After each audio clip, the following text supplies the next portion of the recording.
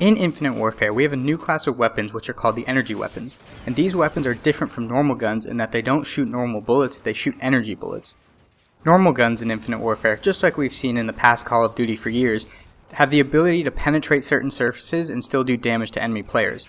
Energy weapons that shoot energy bullets, however, don't have this ability. Instead, they have the ability to bounce or ricochet their bullets off of surfaces and still do damage. I decided to test this out in a game to make sure that this is actually what was happening. So here I hear this guy coming around the corner and I shoot at the floor so that my bullets bounce up off the floor and hit his body and get the kill. So obviously this isn't the greatest way to use this because I could have definitely very easily just shot straight at his body and gotten the kill.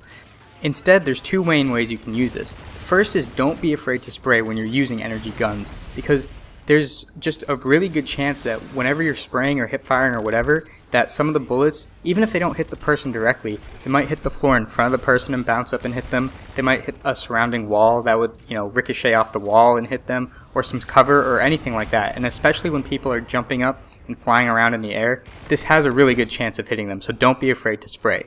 The second way you can use this is if you know someone's hiding behind some wall or some cover or something like that, you can just try to shoot off of surrounding walls or cover to try to ricochet those bullets and hit that person behind the cover without looking at them directly so that you stay in a position of safety and you're able to get the kill without even looking at them directly. And that's actually what happens later in this game here. So because I'm playing frontline, those three enemies you see on the screen are highlighted or outlined because they're in our base, so we're able to see them through walls because they shouldn't be in our base. So I go up and kill the first one, and the two other guys know that I'm there. And I go back to try to kill the second one, but the third guy is actually shooting his energy weapon at the cover to my left and actually getting ricochet bullets to hit me and do damage.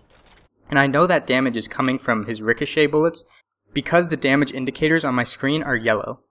So then he realized that he was getting damage off the ricochet, and I realized that he was doing that too, so I tried to do it back to him. And we get into this really weird gunfight of us just shooting at walls and trying to get ricochet damage on each other.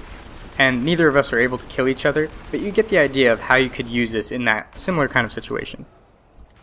So that's it for this video guys, just wanted to share with you the differences between energy bullets and normal bullets, how they can ricochet but they can't penetrate and they can still do damage when they ricochet, and that the best two ways to use them are to spray and pray pretty much, and to use them to try to bounce bullets off cover to hit people who are hiding behind cover.